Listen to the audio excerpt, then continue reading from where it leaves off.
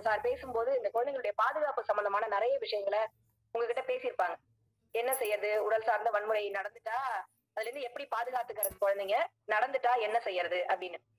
நிறைய வெளிவராம இருக்கிறது காரணம் என்ன தெரியுமா? இந்த சைல்ட் அபியூஸ்ங்கிறது குழந்தைங்க தங்களுடைய உரிமையை அறியாம இருக்கிறது அப்ப உரிமையிலேருந்து குழந்தைங்க அபியூஸ் சைல்ட் அபியூஸ்ங்கிற அந்த ஒரு இடம் வந்து சேருது.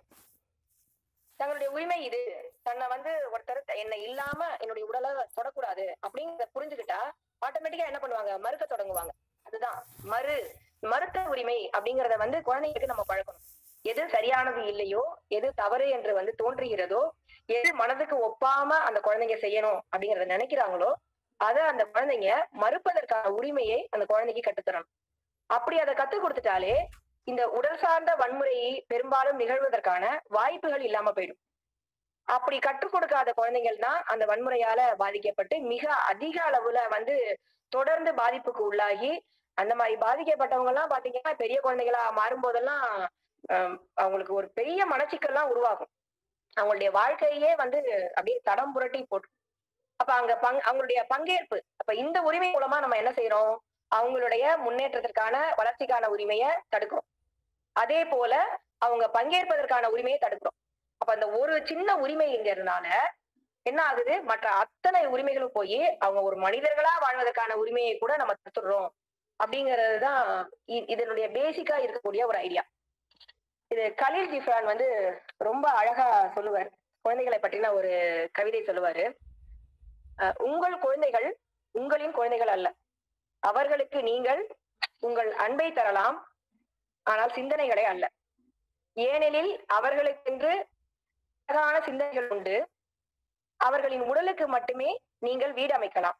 ஆன்மாவிற்கு அல்ல. நீங்கள் அவர்களை அவர்களாக ஆகுவதற்கு உழையுங்கள். ஆனால் அவர்களை உங்களைப் போல ஆக்கிவிடாதீர்கள். இந்த வரிகளை நல்லா புரிஞ்சுக்கிட்டாலே போதும். நம்ம தனியா உரிமைகள்லாம் படிக்கவே வேண்டாம். ஆட்டோமேட்டிக்கா வந்து குழந்தைகளுக்கான உரிமைகள் என்னங்கிறது நம்மை மன நம்முடைய மனதுல நம்மை அறியாமலேயே வந்து புரிஞ்சு போயிடும். இந்த குழந்தைகளுடைய உரிமை மறுப்பு உரிமை மீறல். இந்த ரெண்டு வார்த்தையும் உச்சரிப்பதற்கான அவசியமே நமக்கு இல்லாம போயிடும். அதனால முதல்ல நாம் வந்து உரையாடலை வந்து குழந்தைங்க கிட்ட தொடங்குறோம். ஆஹ் நம்முடைய குழந்தைங்க கிட்ட அவங்களுடைய உரிமைகள் என்ன அப்படிங்கிறத பத்தி பேச தொடங்கணும்.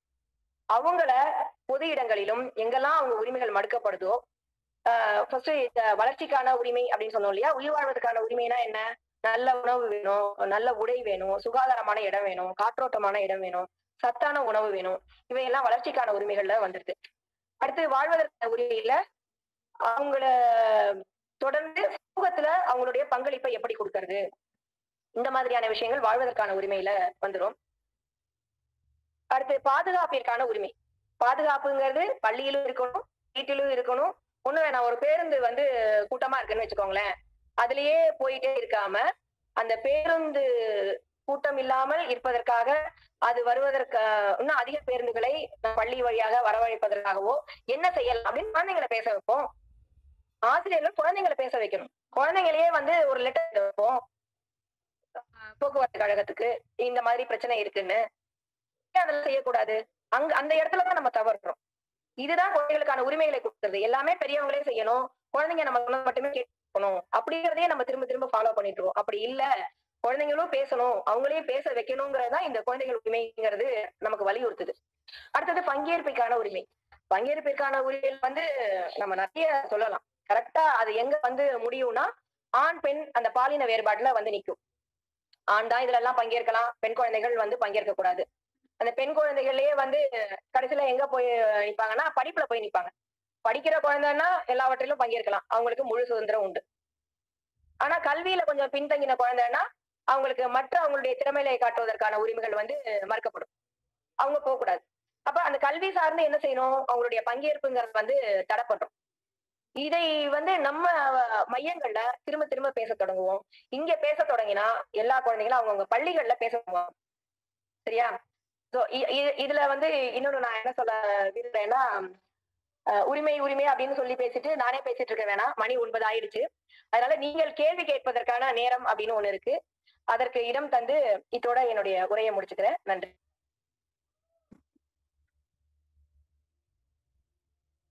Good ma'am good evening Subha. Good evening எதிர்பார்த்துக்கிட்டு இருந்த ரொம்ப நாளா எதிர்பார்த்துக்கிட்டு இருந்த ஒரு நிகழ்வு இன்னைக்கு நடந்துச்சு நினைக்கிறேன். உங்களை நாங்க நிறைய எதிர்பார்த்துட்டு இருந்தோம். நீங்க வருவீங்கன்னு சொல்லிட்டு. ரொம்ப லேட்டஸ்டா வந்த மாதிரி வந்திருக்கீங்க ரொம்ப தேங்க்ஸ் நல்ல தலைப்போட வந்து நிறைய விஷயங்களை ஸ்டார்ட் பண்ணிருக்கீங்க. இங்க வந்து உங்களை பத்தி சில விஷயங்களை நான் சொல்லணும்னு நினைக்கிறேன் மேம் ஹலோ சொல்லுங்க. சொல்லுங்க. மேம் இப்போ இந்த டெலிகிராம் குரூப் ஸ்டார்ட் பண்ணதுல இருந்து நம்ம நான் என்ன பொதுவா என்னோட ஒப்பீனியனை சொல்றேன். எனக்கு வந்து நீங்க ரொம்ப சப்போர்ட்டா இருந்திருக்கீங்க. நிறைய பேரோட இந்த இளந்தேடி கல்வியில வந்து நிறைய ப்ராப்ளம்ஸ் வந்திருக்கு. அதெல்லாம் நீங்க அப்படியே உடனே உடனே வந்து சரி செஞ்சு கொடுத்துருக்கீங்க. அதே போல சோசியல் மீடியாலயும் ரொம்ப ஆக்டிவா எங்க தப்பு நடக்குதோ உடனே அதை தட்டி கேக்குறீங்க அது அதுல சாமியில ப்ராப்ளம் வந்தாலும் அதையும் ஹேண்டில் பண்ணி ரொம்ப நல்லா பண்ணிட்டு இருக்கீங்க சார் சொன்னாரு உங்களுக்கு இவ்வளவு இயர் எக்ஸ்பீரியன்ஸ்னு பட் பார்த்தா உங்களை பார்த்தா அப்படி தெரியல. இப்பயும் நீங்க வந்து சின்ன பிள்ளை மாதிரி அவ்வளவு ஆக்டிவா இருக்கீங்க. ரொம்ப தேங்க்ஸ் உங்களுக்கு வந்து நீங்க இவ்வளவு விஷயங்களை சொல்றதுக்கு நிறைய பேர் மீட்டிங் ஸ்டார்ட் பண்ணதுல இருந்தே ஹேண்டில் பண்ணிட்டு இருக்காங்க உங்க கூட பேசணும்னு சொல்லிட்டு. ஹலோ சரி ரொம்ப நன்றி. ஆனா வந்து இப்போ நம்ம டெலிகிராம்ல மையங்கள் சார்ந்த தன்னார்வலர்கள் சார்ந்த பிரச்சனையை வந்து தொடர்ந்து உடனே உடனே தீர்க்கணும் அப்படின்னு நினைச்சது காரணம் குழந்தைகள் தான் இல்லையா. அவங்களுடைய உரிமைகள் வந்து எந்த கருத்துக்கவும் மறுக்கப்படக்கூடாது அப்படிங்கறதுதான் ஒரு முக்கிய நோக்கம். ரொம்ப நன்றி சுபா. இதுல கேள்வி தெரியும். இடத்த நம்ம கொடுத்துருவோம். Okay ma'am. Okay ma'am. Shanmuga Priya ma'am. நீங்க மேம் கிட்ட பேசுங்க.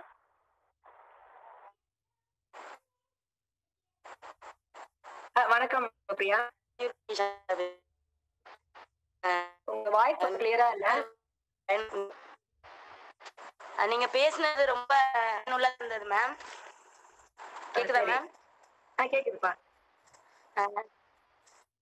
இப்ப நீங்க சொன்னது வந்து எங்க உள்ள பையங்க பிள்ளைங்க கேட்டேன் மேம் உங்களுக்கு என்ன மாதிரி வேணும் அப்படின்னு கேட்கும்போது நீங்க சொன்னதுதான் உங்களே வாய்ப்பு வந்து பேசுங்க. எங்களுக்கு வந்து பாத்ரூம் சரியில்லை. அப்படின்னு சொல்றாங்க நான் தலைமை ஆசிரியர் அன்னைக்கு நாங்க போய் பஞ்சாயத்து போர்ட்ல தலைவர் போது அவர் ஓட்டு முடியாது அப்படின்னு ஏன்னா அதுக்கு என்ன மேம் பண்ணலாம் இப்போ எந்த ஒரு விஷயமே நம்ம செய்ய தொடங்கின உடனே மாறிடும்னு நினைக்க கூடாது அப்படியே கிளிப் ஆகும். தலைகீழா எல்லாமே சரியாயிடும்னு நினைக்க கூடாது முதல்ல பேச தொடங்கும்.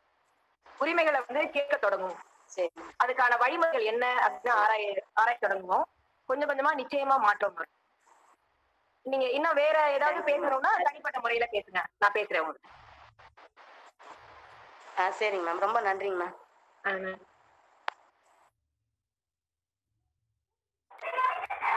முருகேஸ்வரி மேம் உங்களோட மைக் அனுப்பி போயிட்டு பேசுங்க